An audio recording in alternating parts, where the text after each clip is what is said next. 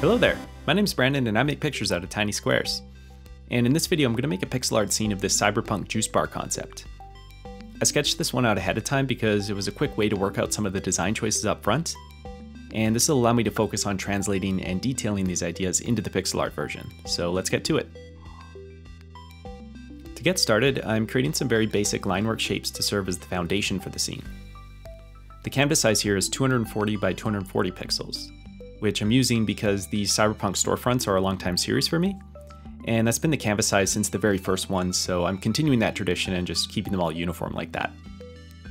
I honestly can't remember why I had selected that exact sizing in the first place, but either way, uh, something in the mid 200s is kind of right in that 8 bit, 16 bit era sizing, and it's been a comfortable amount of space for this series. The last one I did like this was the coffee shop video that I made last year, and one of the great realizations I had with that one was how well it came together by continuing to work on the rendering throughout the creation of the piece. As opposed to the workflow that I often use where I'll complete all the line work first, and then add shading and then detail and weathering, etc., like all in separate rounds. So in this case, as I'm creating the line work and objects, I'm also trying to think about and add any highlights and shading to render those materials and textures, and to also add a bit of grit or weathering at that time as well. The benefit with this approach, uh, what I find for the style of this series anyway, is that it ends up giving a very natural layering to these details, uh, rather than just applying a uniform treatment in a single step later.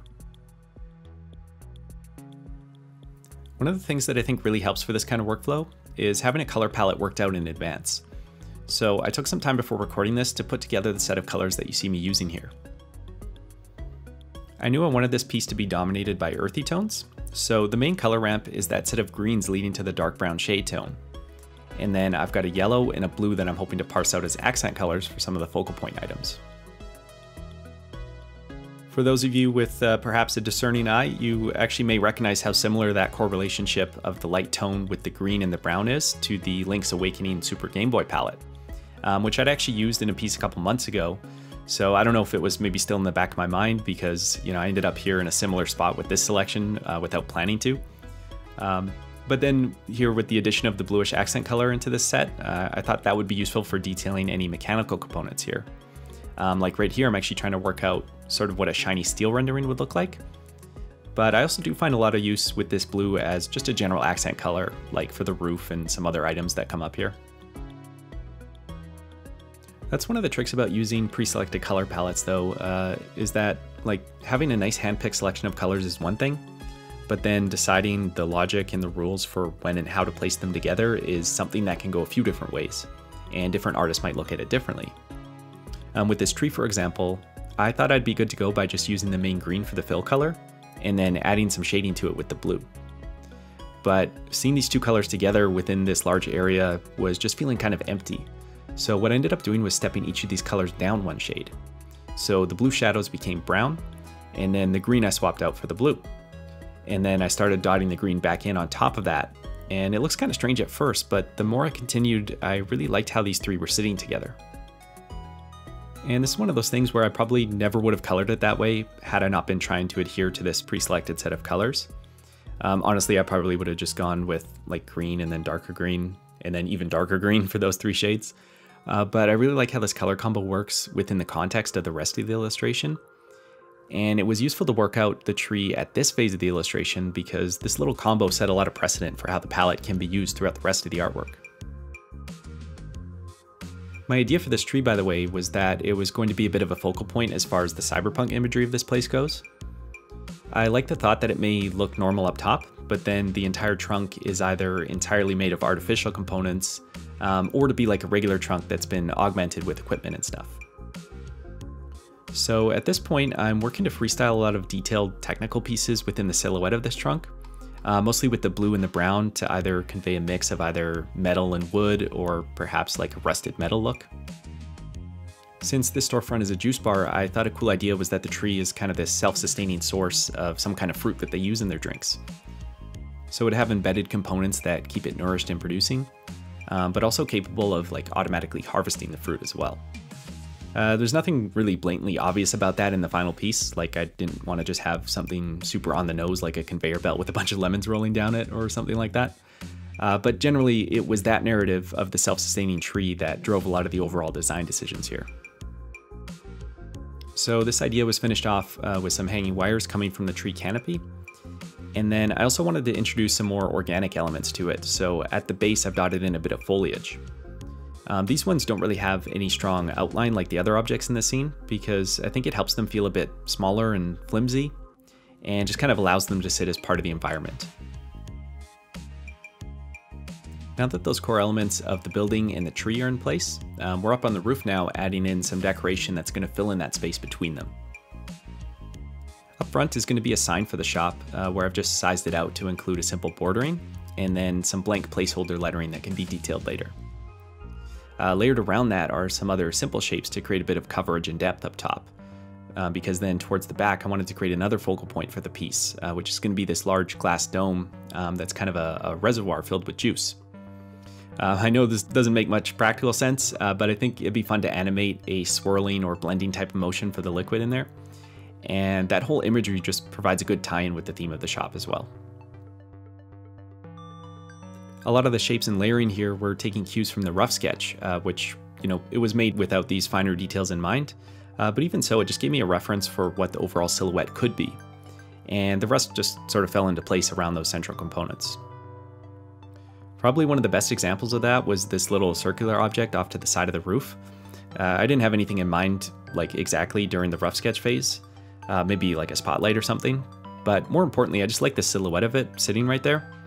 So here I'm just improvising a few options for that one, and eventually I settled on a sphere-like design that I thought looked a bit like a globe or something. And it's just kind of a neat addition against all the other pieces. The last major set piece is this street lamp off at the left side.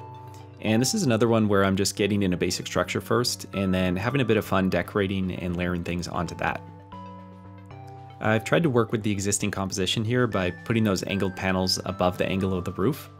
And then toward the base, there are a few different elements to occupy some of that in-between space. On the light panels, I've stepped through the gradient from white to green to blue, and that gives it this sort of gradual broken outline that works a bit better at conveying kind of a soft lighting effect, rather than if this were left as a full dark outline.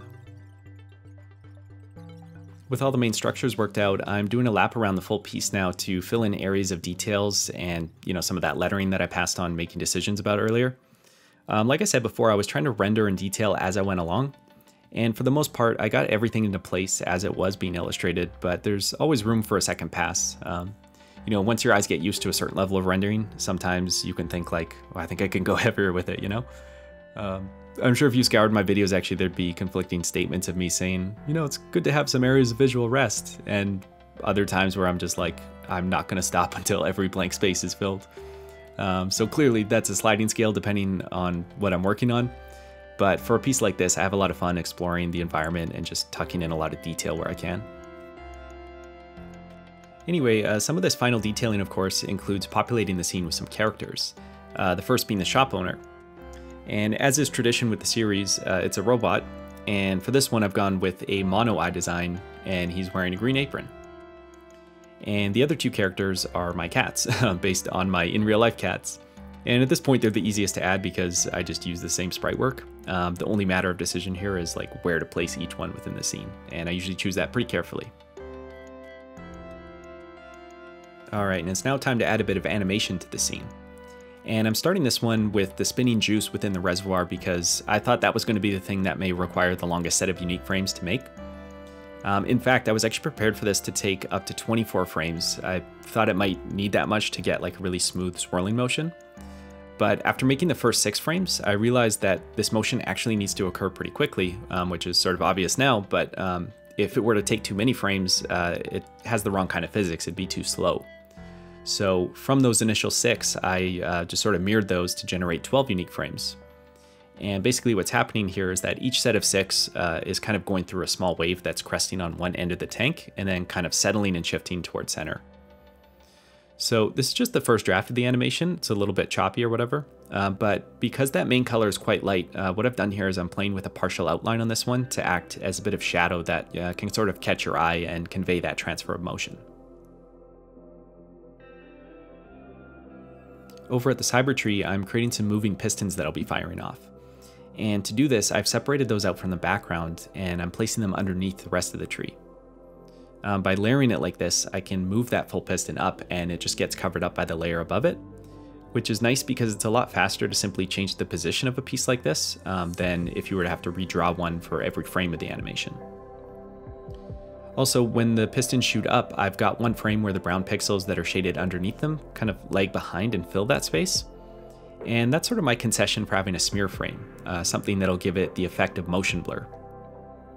I figured I couldn't smear the entire piston because it's already colored in these vertical stripes, so to just stretch that pattern out as a blur when it moves up would have just looked like it was in the starting position anyway. I'm creating a rotation for the little globe object, and to do this I'm actually just animating the position of the blue grid pattern within it. That'll provide the point of reference to actually be able to notice that it's rotating.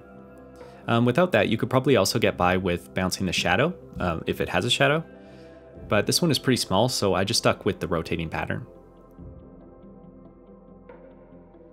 I kept a lot of the other animations quite simple, um, like just blinking lights and stuff like that, because I didn't want this to come out super busy with motion, um, since it was feeling like a pretty serene vibe so far.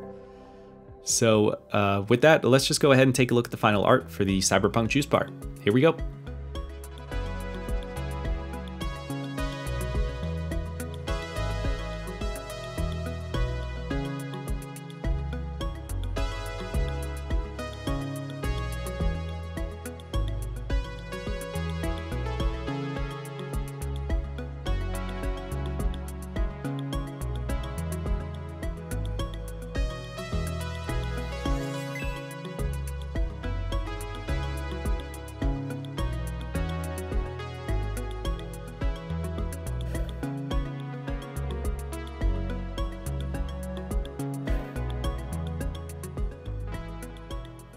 Alright, and if I may just mention real quick, I've actually added this one as a print in my shop, and I've got a few others from this series there as well.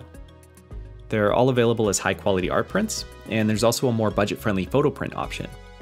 So if you're the kind of person who likes physical prints like that, uh, I've left a link to those down below. And we'll just roll right on through to close out with some CRT time, um, which I don't know if it was the colors here or maybe the camera and TV were just having a really good day together, uh, but I thought this footage came out quite well. Uh, so let's check that out and thank you for watching, and take care and keep it square.